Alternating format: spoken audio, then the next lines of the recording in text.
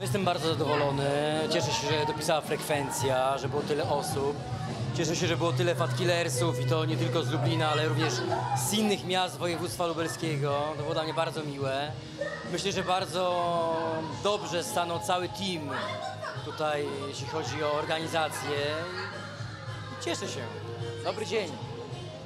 Kluczem w sukcesie w odchudzaniu jest przede wszystkim motywacja, to jest podstawa, czyli u osoby, która ma do zgubienia 80 kg, trzeba wzbudzić bardzo dużo motywacji do tej pracy, prawda? No i kwestia dobrze pokierować żywieniowo i treningowo, ale motywacja jest najważniejsza. Na każdym odcinku odchudzania trzeba ją delikatnie pobudzać i wtedy taką osobę można przeprowadzić przez właśnie 82 kg. Słyszałem, że jestem cudotwórcą, że jestem szamanem. E, absolutnie nie.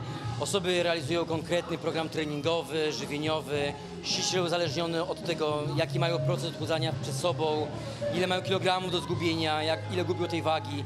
Jest to już przez lata opracowany program, który zrealizowałem z przynajmniej grupą 12 tysięcy ludzi.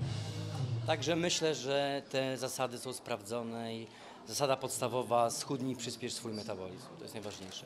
Nie każdy zgubiony kilogram powinien cieszyć, tylko kilogram zgubionego tłuszczu, a przy okazji rozbudzanie maksymalne włókienek mięśniowych, rozbudzanie struktury mięśni, żeby mieć silny, silny metabolizm. No jest jednym łatwiej, innym mniej łatwo.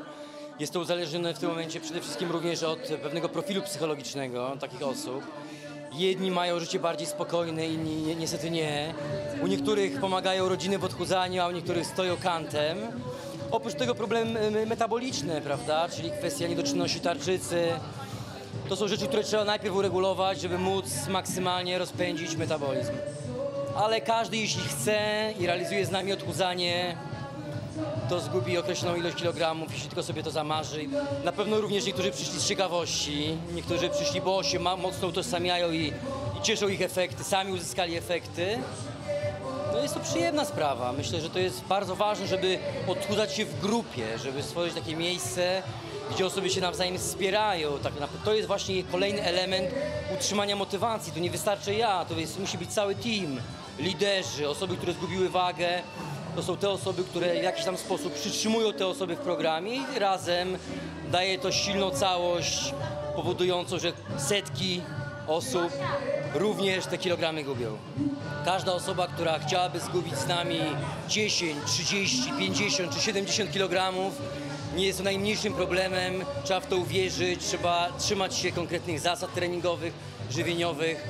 Program Chudniesz, Wygrywasz Zdrowie jest w stanie pomóc każdej osobie i przez pierwszy miesiąc czasu osoba, która ma, która ma do zgubienia 40 kg, bez problemu zgubi około 10 kg, a to myślę, że jest bardzo dobrym motywatorem do dalszej pracy.